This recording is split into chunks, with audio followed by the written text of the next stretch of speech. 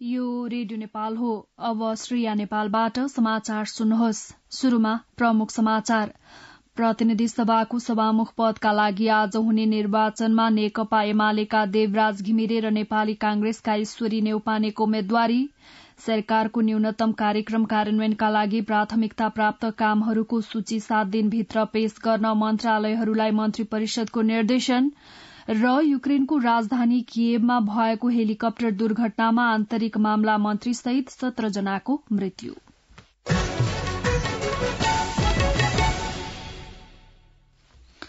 अब समाचार विस्तारमा। प्रतिनिधि सभाको सभामुखका लागि आज निर्वाचन हुँदैछ। आज बिहान एघार बजे बस्ने प्रतिनिधि सभाको बैठकमा सभामुखको निर्वाचन हुनेछ।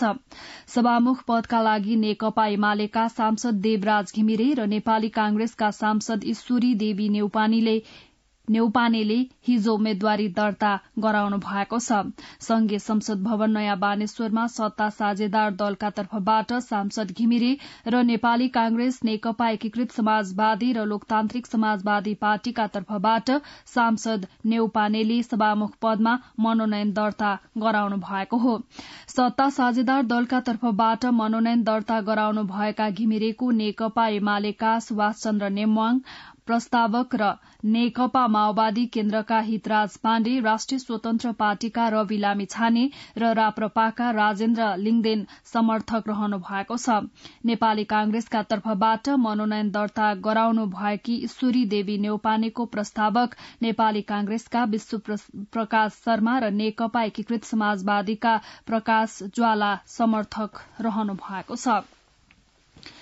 यसैबीच उम्मेद्वारी दर्तापछि संचारकर्मीको जिज्ञासामा सभामुखका उम्मेद्वार देवराज घिमिरेले आफू निर्वाचित भए विगतको शिक्षा र राजनैतिक दलसँगको परामर्श एवं सहमतिका आधारमा संसदका बैठक तथा प्रक्रियालाई व्यवस्थित गर्ने बताउनुभयो। अर्का उम्मेद्वार ईश्वरी देवी नेउपानेले आफू निर्वाचित भएमा सबैको सभामुख हुने र सभा सञ्चालन गर्दा तटस्थ रही संसद र सांसदप्रति न्याय गर्ने गरी सदन चलाउने बताउनुभयो। नेपाली कांग्रेसले सभामुख पदका आफ्नो पार्टीका उम्मेद्वार ईश्वरी देवी नेउपानेलाई मतदान गर्न व्हीप जारी गरेको छ। कांग्रेस प्रमुख सचेतक रमेश लेखकले हिजो पार्टीका सांसदहरूलाई अनिवार्य उपस्थित हुन तटस्थ नरहन र उम्मेद्वार नेउपानेलाई सभामुख पदमा निर्वाचित गरियोस् भन्ने प्रस्तावका पक्षमा मतदान गर्न व्हीप जारी गर्नु भएको हो। सरकारले गठबन्धन सरकारको नीतिगत प्राथमिकता र न्यूनतम कार्यक्रम कार्यान्वयनका लागि आफ्नो कार्यक्षेत्रभित्र गर्नुपर्ने प्राथमिकता प्राप्त कामहरूको सूची मन्त्री परिषदमा पेश गर्न मन्त्रालयहरूलाई निर्देशन दिएको छ। प्रधानमन्त्री तथा मन्त्री परिषदको कार्यालय सिंहदरबारमा हिजो बसेको मन्त्री परिषद बैठकले सात दिनभित्र प्राथमिकता प्राप्त कामहरूको सूची पेश गर्न मन्त्रालयहरूलाई निर्देशन दिएको बैठकपछि उपप्रधान एवं अर्थमन्त्री विष्णु पौडेलले जानकारी दिनुभयो। बैठकपछि संचारकर्मीसँग कुरा गर्नुहुँदै उपप्रधान एवं अर्थमन्त्री पौडेलले न्यूनतम कार्यक्रम कार्यान्वयनका सन्दर्भमा मन्त्रालयबाट आएका प्राथमिकता प्राप्त कामहरूलाई सरकारले कार्यान्वयनमा लैजाने बताउनुभयो। बैठकले विभूषण तथा पदक वितरणको मापदण्ड बनाउन समिति गठन गर्नुका साथै विदेशी प्रतिनिधि भेट्नका लागि अनिवार्य रूपमा परराष्ट्र मन्त्रालयका कर्मचारी राख्नुपर्ने पनि निर्णय गरेको छ। उप प्रधानमन्त्री पौडेलले संचार तथा सूचना प्रविधि मन्त्री रेखा शर्मालाई सरकारको प्रवक्ताको जिम्मेवारी तोक्ने निर्णय पनि हिजोको मन्त्री परिषद बैठकले गरेको जानकारी दिनुभयो।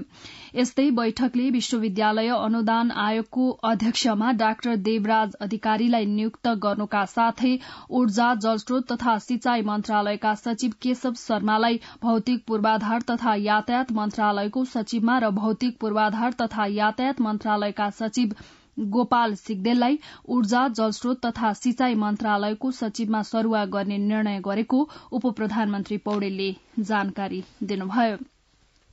यसै गरी सरकारले चालू आर्थिक वर्ष दुई हजार उनासी अस्सीका लागि उखुको न्यूनतम खरिद मूल्य तोकेको छ।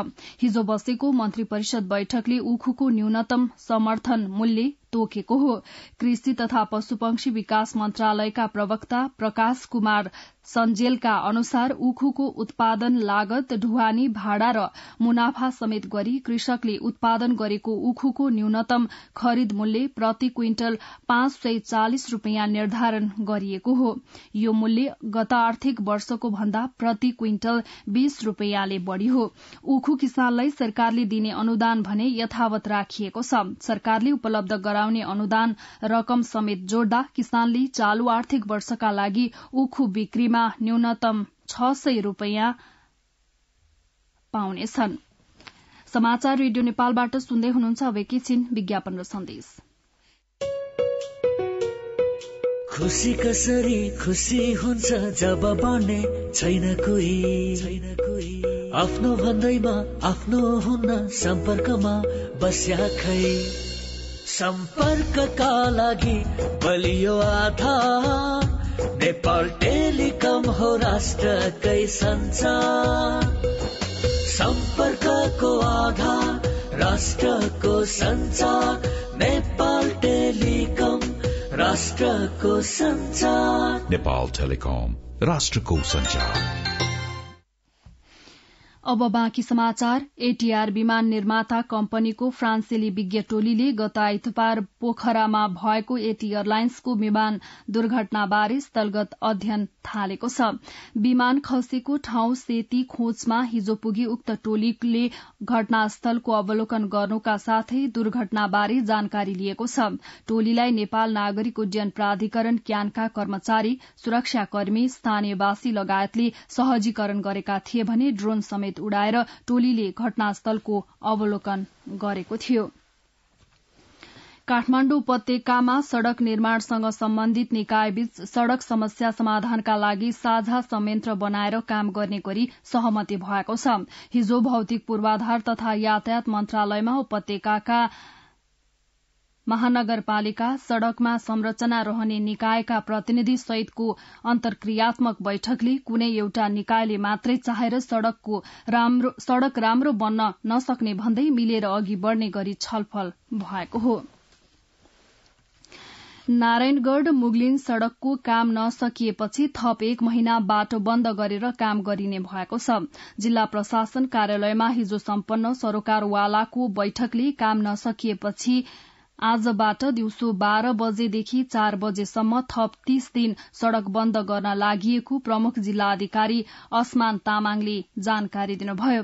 नागढुङ्गा मुगलिन सड़क आयोजना पश्चिम खण्ड नारायणगढ़ मुगलिनका सूचना अधिकारी कृष्ण आचार्यले सवारी रोकेर काम गर्दा प्रभावकारी भएकाले थप एक महिना बाटो बन्द गरेर काम गरिने बताउनुभयो। झापाको उत्तरी चुरे क्षेत्रबाट ढुङ्गा तस्करी गरेको आरोपमा प्रहरीले दुईजनालाई पक्राउ गरेको छ। नेन्दा खोलाबाट अवैध रूपमा ढुङ्गा निकाल्दै गरेको अवस्थामा प्रहरीले मेची नगरका सुभाष लिम्बू र मेची नगर तीनका मौसम खवासलाई हिजो पक्राउ गरेको हो। पक्राउ परेका दुवैजनालाई आवश्यक कार्यवाहीका लागि मेची नगर नगरपालिका कार्यालयमा बुझाइएको झापा प्रहरीका प्रवक्ता डीएसपी वसन्त पाठकले जानकारी दिनुभएको छ। अब अन्तर्राष्ट्रिय समाचार युक्रेनको राजधानी किएभमा भएको हेलिकप्टर दुर्घटनामा परि युक्रेनका आन्तरिक मामिला मन्त्री सहित सत्र जनाको मृत्यु भएको छ। राजधानी किएभको एक आवासीय क्षेत्रमा भएको हेलिकप्टर दुर्घटनामा हेलिकप्टरमा सवार एक मन्त्री एक उपमन्त्री र सचिव सहित नौ जना र विद्यालयका तीन बाल बालिका सहित छ जना गरी सत्र जनाको मृत्यु भएको छ। हेलिकप्टर आवासीय क्षेत्रमा खस्दा दश बाल बालिका सहित बाइस जना घाइते भएका छनृ। अब मौसम सम्बन्धी जानकारी आज कर्णाली प्रदेश र सुदूरपश्चिम प्रदेशका पहाड़ी भागमा आंशिकदेखि सामान्य बदली रही कर्णाली प्रदेश र सुदूरपश्चिम प्रदेशका केही स्थानमा हल्का वर्षा हुनुका साथै देशका पूर्वी मध्य र पश्चिमी भागका उच्च हिमाली क्षेत्रका एक दुई स्थानमा हल्का हिमपात हुने र बाँकी भागमा मौसम सामान्यतया सफा रहने जल तथा मौसम विज्ञान विभागले जनाएको छ।